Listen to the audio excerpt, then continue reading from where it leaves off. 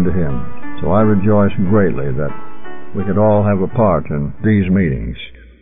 It is the Word of God, the Word of Christ, that makes us ministers and believers. The story is told of the Emperor Napoleon. One day, as he was reviewing his troops, riding along on his white charger, his horse suddenly took fright. He reared dangerously and jerked the reins out of Napoleon's hands, and the Emperor of France was in momentary danger of losing his life. In front of him was a solid wall of infantrymen, trained to stand at attention, presenting arms. As the horse raced down past this line of men, one of the privates, disregarding all discipline and order, threw down his musket, leaped forward out of the line, grasped the flying reins, and brought the horse to a standstill. Then he handed the reins back to the hand of the emperor, who said, Thank you, Captain.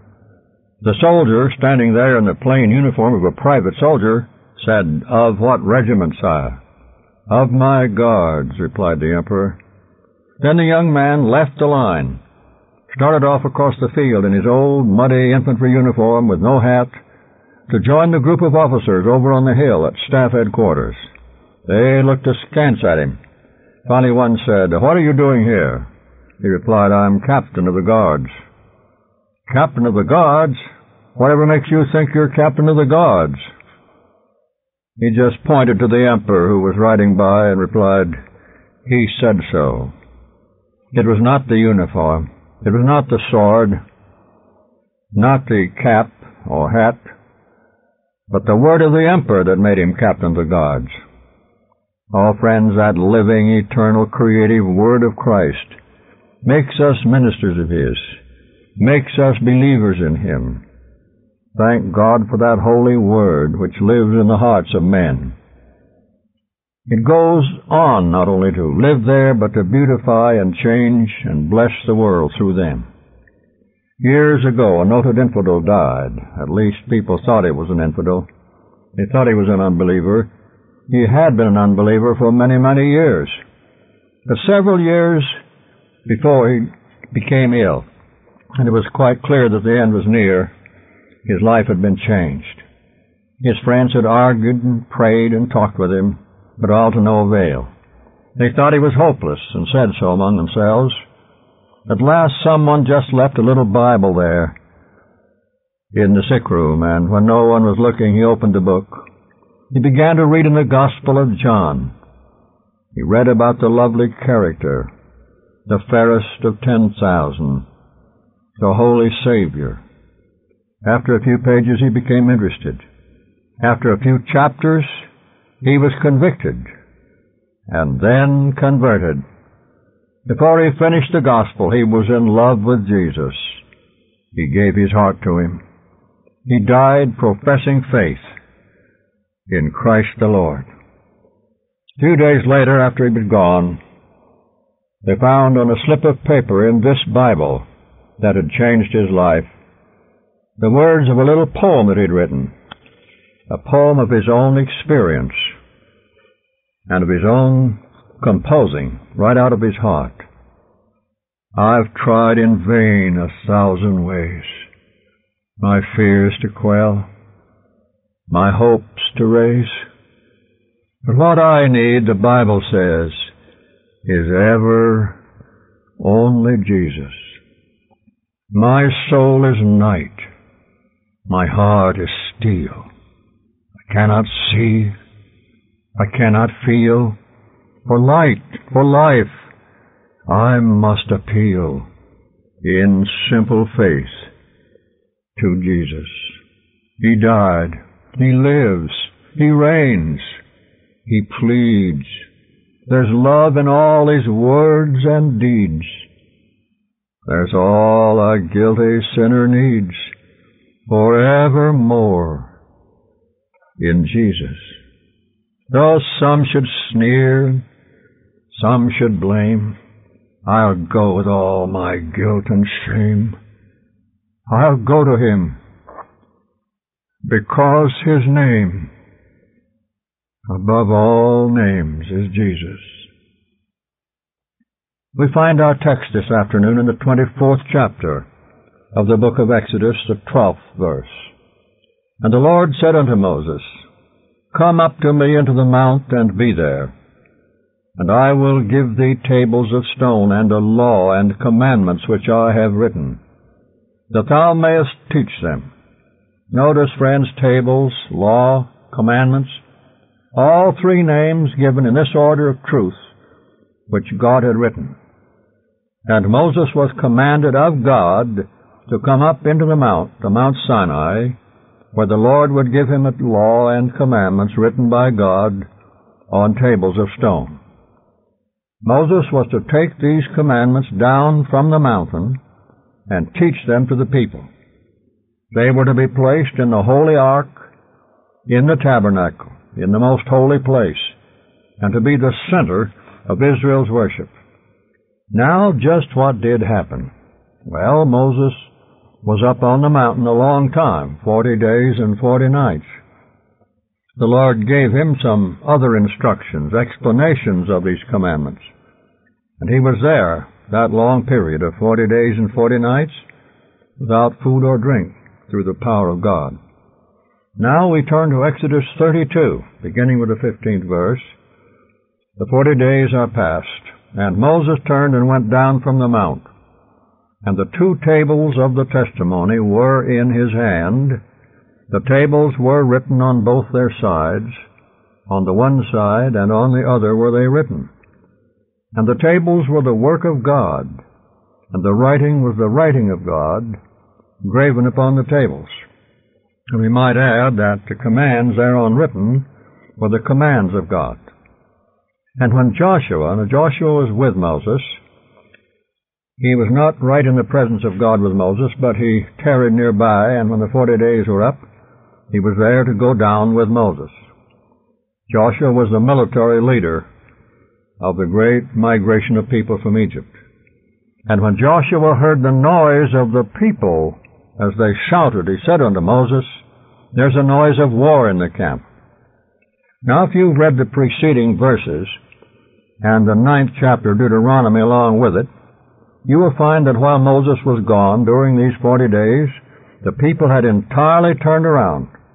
They had gone back on their promises and fallen into idolatry.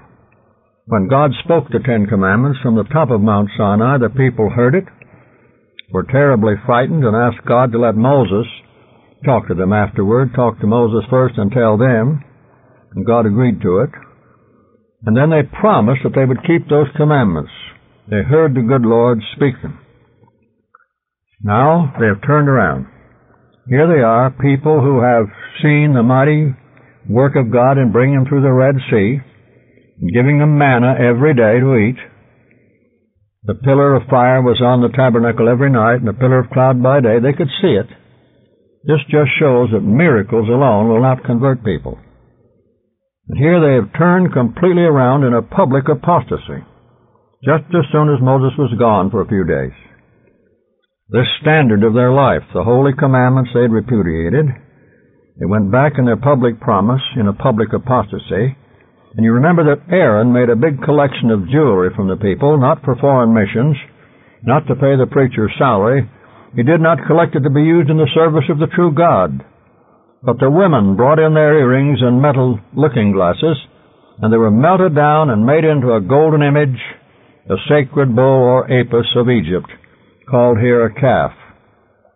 And they began to worship that heathen idol which they had known in Egypt. And they danced around it with the lascivious dances of pagan worship.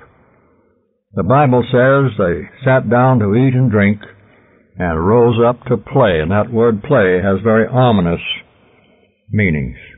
While Moses was coming down from the mount with the holy law of God in his hands, the people were breaking the very first command of that law. Thou shalt have no other gods before me. And they were breaking the second command, Thou shalt not make unto thee any graven image. They had done that. They were bowing down to an idol, and by doing this they were breaking all the commandments, of course, but especially the first two. Here was God's nation, people who were especially delivered by Him from bondage a people upon whose name was called, God's name was called, publicly defying God and committing these flagrant sins as a nation, as a people. What happened? Let's go back to this 32nd chapter. Moses was coming down from the mountain with the commandments, the tables of the law in his hand. He and Joshua were together. And when Joshua heard the noise of this great celebration, this heathen feast they were celebrating in honor of their idol, the first thing he thought about was that their enemies had attacked the camp and war was on. Joshua heard the noise as they shouted, and he said, There's a noise of war in the camp. But Moses replied, It's not the voice of them that shout for mastery, neither is it the voice of them that cry for being overcome, but the noise of them that sing do I hear. That's verse 18. The people were singing the pagan song of idol worship. And it came to pass as soon as he came nigh unto the camp, speaking of Moses, that he saw the calf, that is this golden image of the bull god Apis, and the dancing. And Moses' anger waxed hot. His anger grew out of the sin of the people. The sin of the people in worshiping this idol caused Moses sanctified anger for God to wax hot. And he cast the tables out of his hands and brake them beneath the mountain. This was a symbol that their covenant with God had been broken. They had promised God to keep these commandments. As a nation, they had seen it signed in the blood of a sacrifice. And they accepted it. And here they have broken God's covenant. They've broken His commandments, so their covenant with God is broken. Their marriage ceremony with the God of heaven had been broken and they are divorced spiritually. And what did Moses do? Then he took this calf, this idol, which they had made, and burnt it in the fire, and ground it to powder, and strawed it upon the water, and made the children of Israel drink of it. Verses 19 and 20. I used to wonder how he could grind up gold and put it in water and make an emulsion so that people could drink it. Because gold always goes to the bottom, you know. It's heavier than other minerals, heavier than the sand, and goes to the very bottom of the river, wherever it is, or in any vessel where it might be. I've seen men panning gold. In fact, I learned how to do it myself when I was a boy.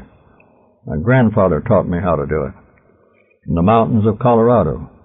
Gold always goes to the bottom of water, but according to chemists, you can make an emulsion of gold and water if you know how. You burn the gold in a certain way, just right, and then you agitate it violently when it's melted. Grind it very small, very fine, and mix it with water, and many times it will make an emulsion. One man in the United States, I understand, is able to do it, and make an emulsion of gold and water exactly looking like blood. It's blood red. Possibly that's why Moses compelled them to drink this. I understand that the tail lights of the old Model T Ford car, so very red, those who've seen them remember them, they were made with a gold emulsion. Moses had the tables of stone with the words of God written upon them. He had been in the presence of God on the top of Mount Sinai. And in that divine presence, the presence of the God of heaven on top of the mount, and then in that divine presence he received these words. They were inscribed upon the tables of stone. And he brought those tables of stone from the very presence of God down the mount to where the people were at the base of the mountain. And then the stones were broken. What caused the breaking of those stones? What really caused the breaking of those tables? Well, when Moses came down from the mount, he saw the people dancing around the golden calf. He saw them committing this terrible sin. He beheld this awful apostasy. Turn with me to the ninth chapter of Deuteronomy, verses 9 and 12, and here we find the story.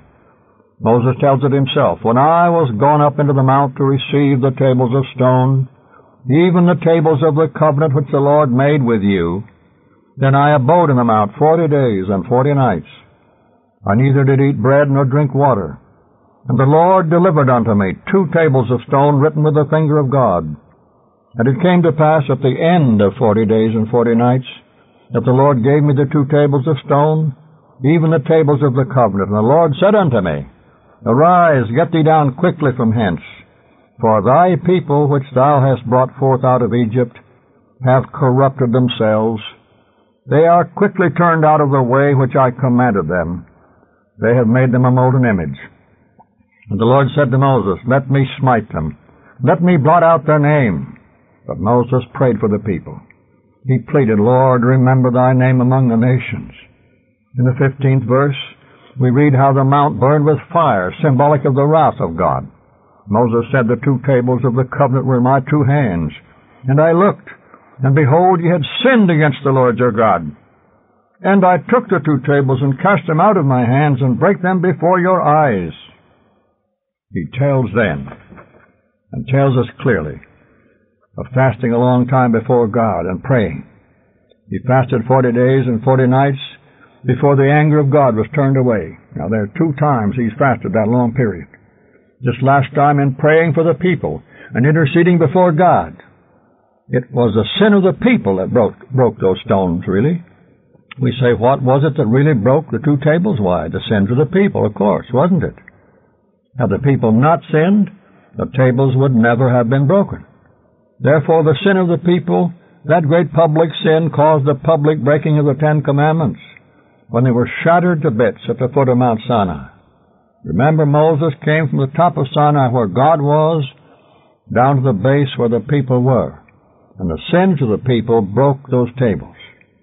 Well, after the people had gone through their purification, we'll not go into that in this sermon, and the sacrifices had been offered, and Moses had prayed and besought God for forty days for the people, interceded for them, so that he would not destroy the whole nation.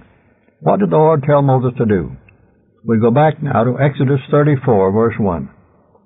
The Lord instructed Moses to make two new tables of stone Moses was to make these tables of stone.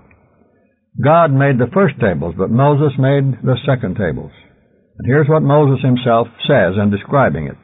And the Lord said unto Moses, Hew thee two tables of stone like unto the first. And I will write upon these tables the words that were in the first tables, which thou breakest. Now, keep in mind, for we are coming back to it, and I will write upon these tables the words that were in the first tables which thou breakest. God promised to do that. The fourth verse tells how he did it. Moses cut out two tables of stone just like the first and took them up to God on the mountain where God dwelt. And God wrote on the second table the words that were on the first table.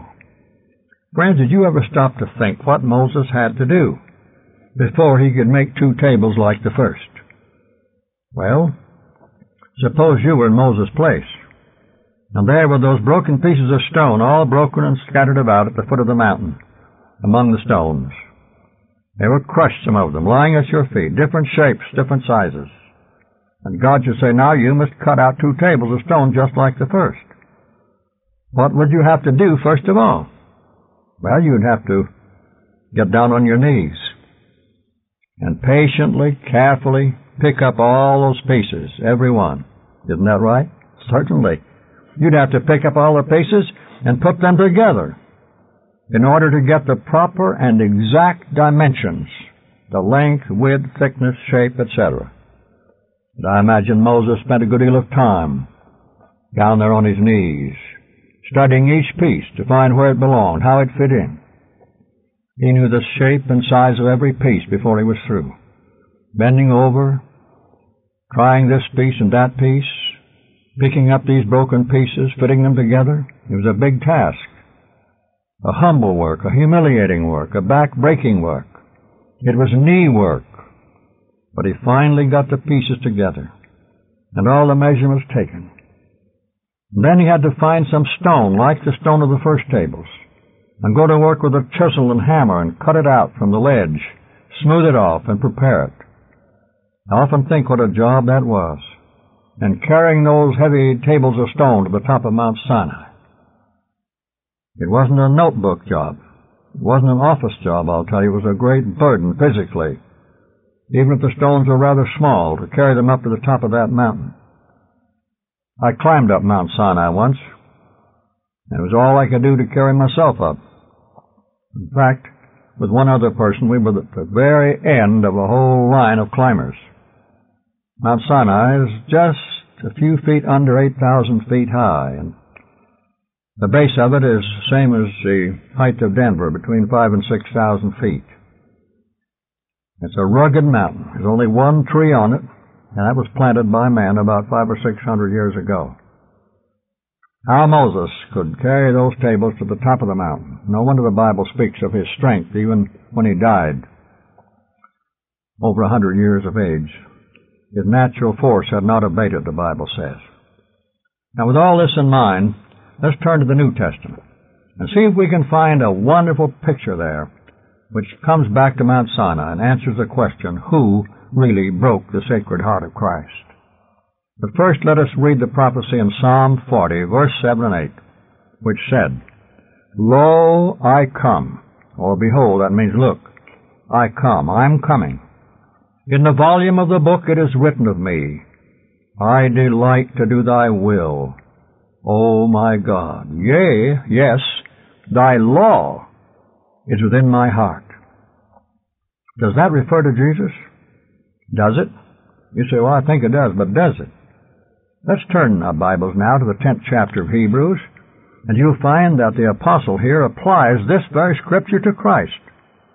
So it is talking about Jesus, who, when he came into this world, had the will of God or the law of God inscribed on his heart.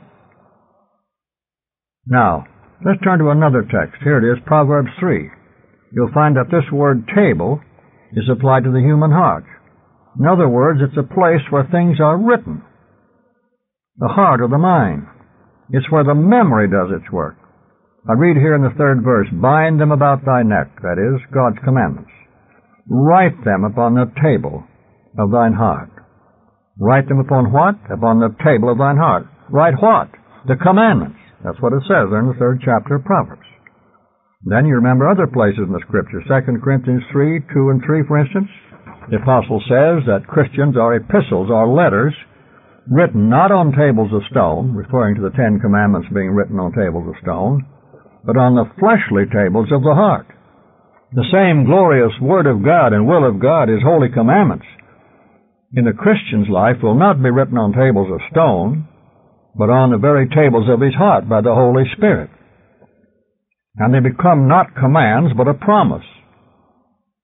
Instead of commanding us to keep the Sabbath, for instance, it's a promise that we will keep it because we're now God's children.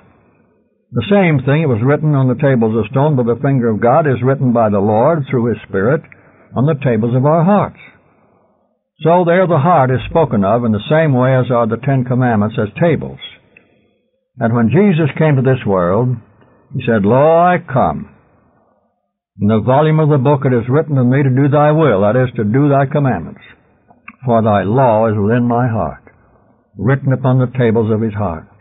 When Jesus came here, the holy word and will of God was written on his heart. And when Jesus came to this world, true he was born in Bethlehem. He was born there as a babe. He entered the human race there, but he didn't begin there. Jesus came from heaven. Where did he come from? He came down from heaven from heaven where God dwells, where God works, where God lives, where His throne is. We know, of course, that by His Spirit, His presence, God is everywhere in the whole universe. But there is a center which He calls His home, which the Bible calls heaven. And Jesus came from heaven where God was, down to this world with the law of God written in His heart. From that place in the very presence of God, Jesus came down to this earth where men are. He came from God, the holy, righteous, eternal God, to man with all his sins. And he brought from God to earth the tables of God's law, written in his heart, or God's law written on the tables of his heart. He came from the place of divine splendor and holiness and purity and light to the place of evil and darkness and sin and death. And there he died upon the cross, put to death by wicked men. But it was all in God's plan. He was dying for these wicked men. What killed Jesus anyway? Was it the Roman nails driven through his hands and feet that killed him? No. Men who were crucified often lived for three or four days, even a week, and died of thirst and hunger and pain. Was it the spear thrust into his side? No, he was dead before that was done. Was it the crown of thorns that killed him? Was it the crucifixion that killed him, the sickness on the cross? For he was desperately ill, caused by all these things that happened to him. Days and nights of suffering, fasting, mistreatment, a terrible scourging, and all the rest of it. What killed him? Let's see if we can find it by looking in two or three Bible texts. First in Matthew 27 verse 50. Jesus, when he had cried again with a loud voice, yielded up the ghost. At the very moment of his death, he cried with a piercing cry. In fact, it was a great cry of victory. Keep that in mind. One of the things that happened at his death was this piercing cry. One word in Greek, tetelestai. That means it's finished. It's sealed. It's completed. It's certain. He had won the victory. And his death was for the atonement of the whole world and the defeat of Satan. For he came to destroy the works of the devil, which is sin. And he came to destroy the devil too, which will take place in due time. Now let us take another text, this time John 19:34, one of the greatest chapters in the world. This is very important because John himself draws attention especially to what he saw take place there at the cross. But one of the soldiers with a spear pierced his side. And forthwith came there out blood and water. Two distinct streams, note. If it had been mixed together, it would have looked like blood. But this was blood and water. And he that saw it bare record. And his record is true. And he knoweth that he saith true, that ye might believe. There was something about this that would help us to believe. It was very important to John to make it clear that Jesus died uh, on the cross before they came and pierced him. Now, those two thieves were still alive. These soldiers had an order to come and break the legs of those three men and take them down from the cross because the Sabbath was about to begin.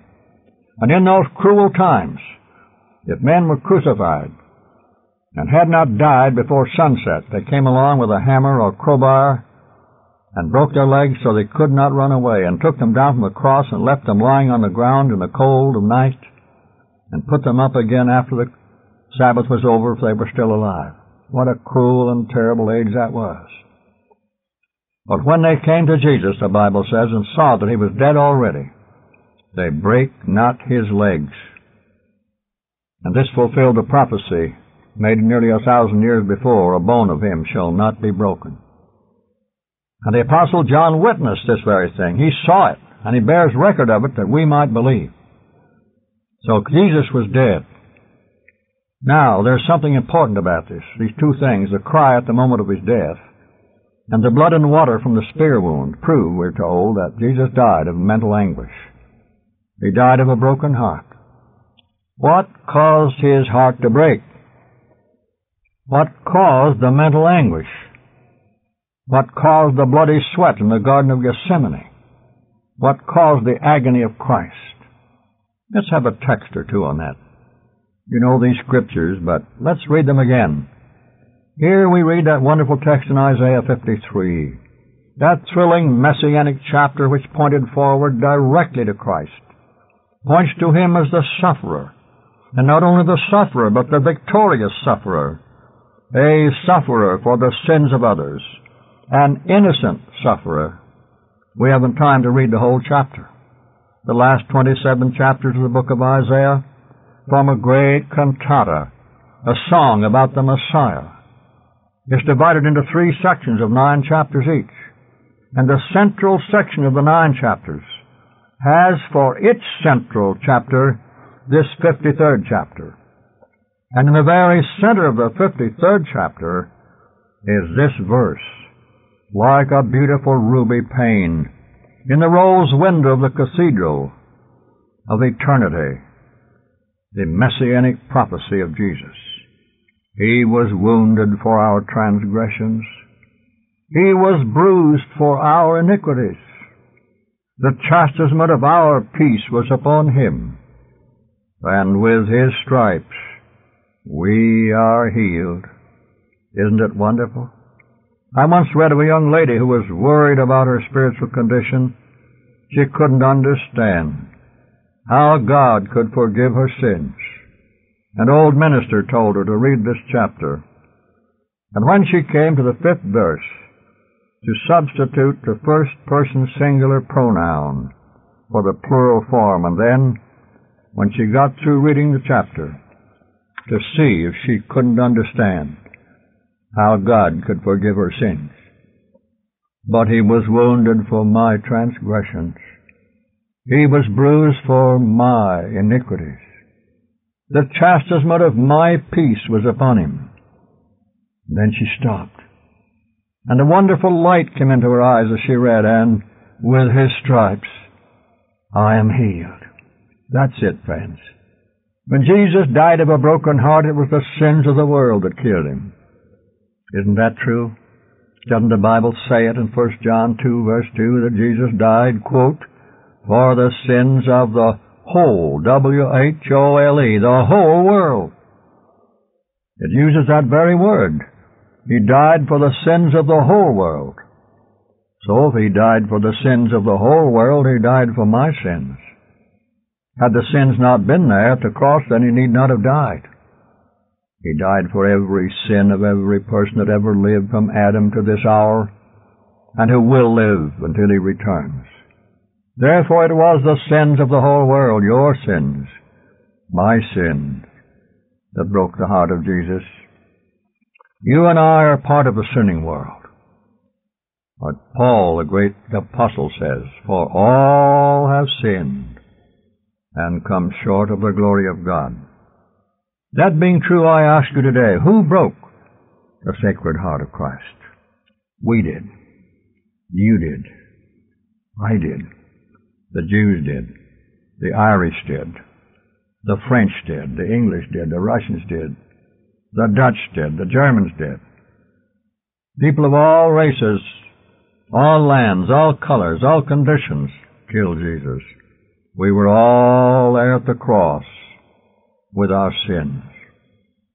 He laid our sins on Jesus, the blessed Lamb of God. He bore them all and frees us from the accursed load.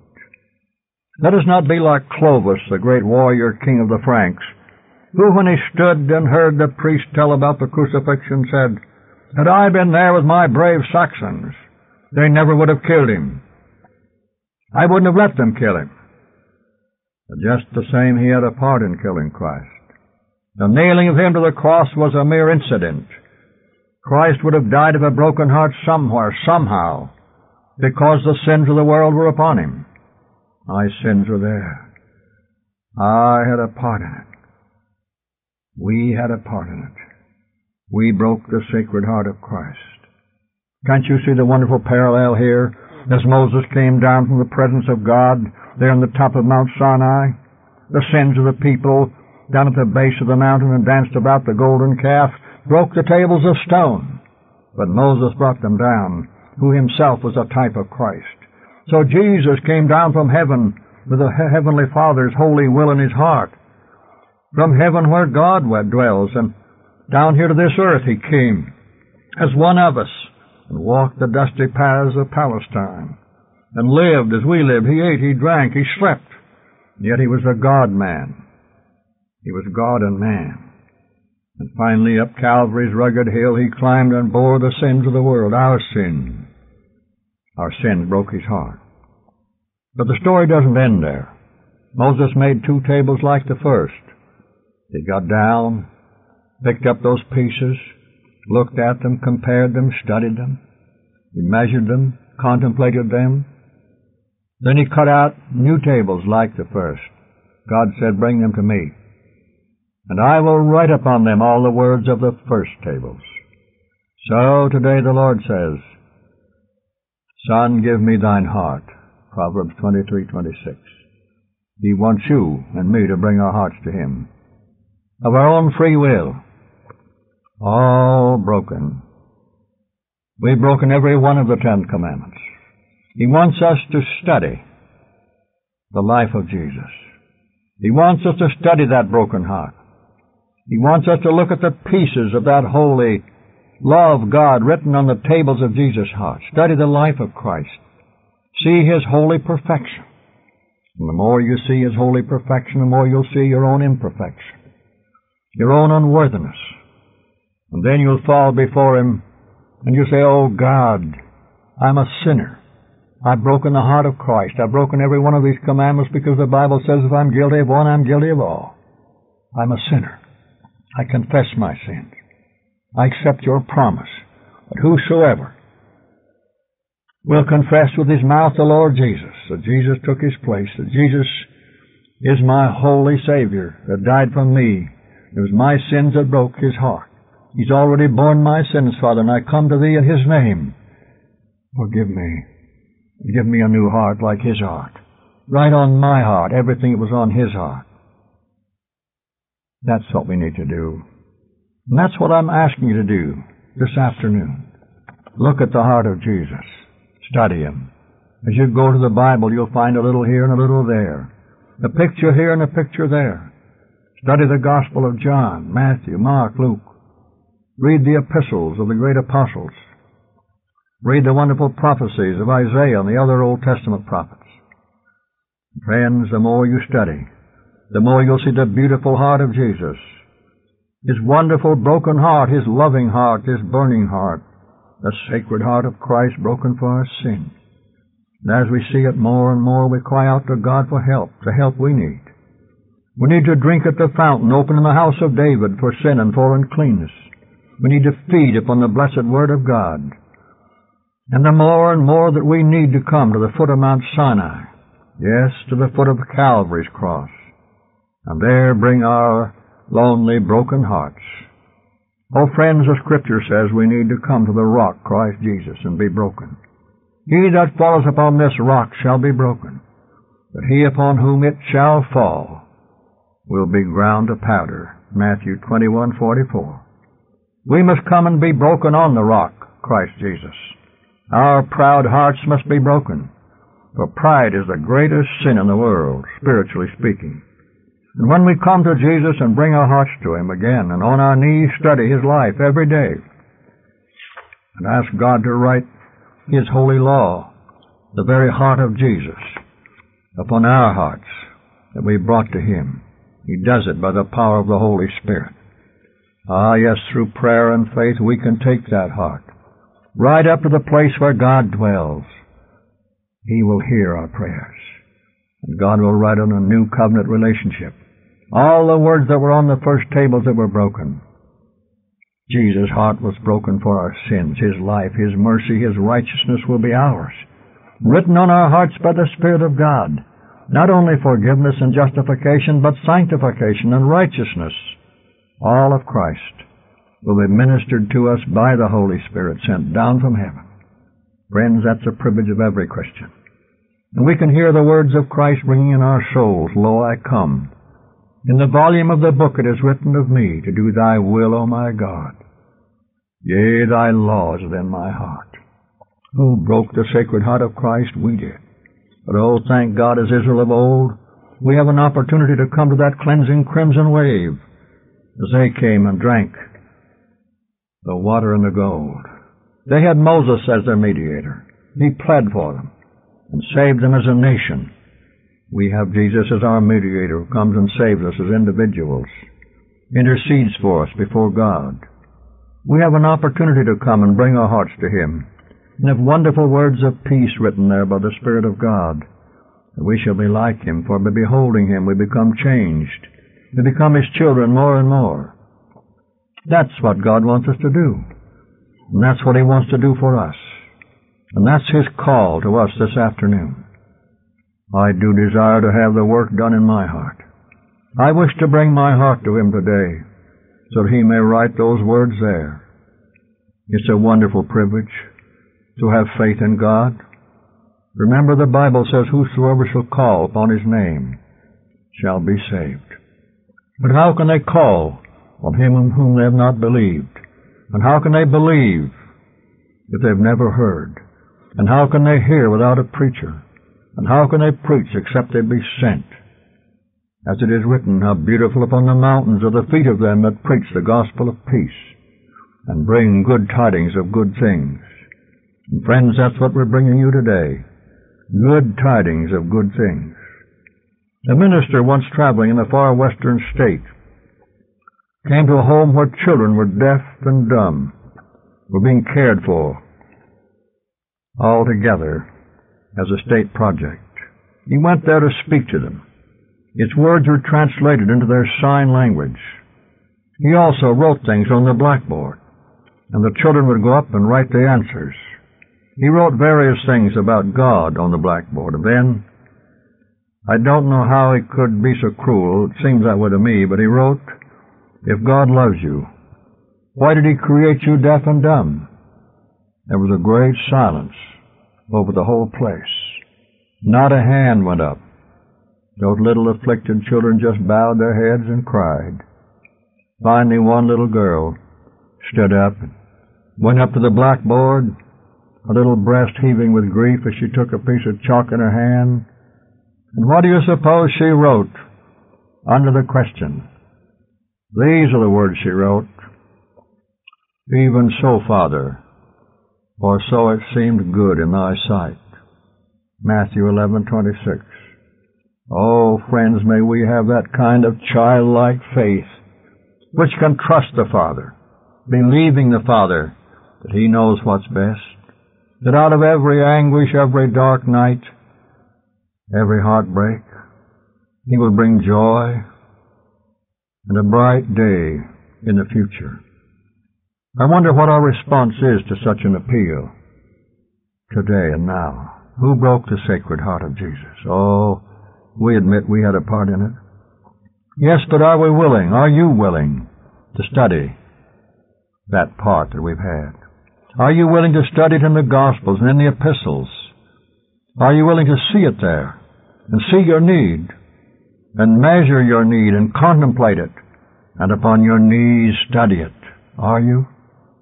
Then ask God to give you that heart, a heart like Jesus, and write on it all His will and all the righteousness that was on Jesus' heart. If that's what we need, wouldn't it be a fine thing to have a real revival of desire and to seek God here in a positive way this afternoon? I believe there are many here in this meeting who ought to make a decision like that and bring their hearts to God and have the Holy Spirit write on them the things that ought to be written there. Thank God He can wipe off the things that ought not to be there. He can erase them forever and give us a new heart and a clean heart and a holy heart and a righteous heart. New tables of the law written not with pen or ink or chisel, but the Spirit of the living God. Not on tables of stone, but on the fleshy tables of the heart. All written by His truth and His Word through the Holy Spirit's ministry, that whatever we do will be done from a new heart, even the heart of Christ, implanted in us by faith and by the Holy Spirit's power. O Lord our God, this afternoon we pray that Thou wilt receive everyone.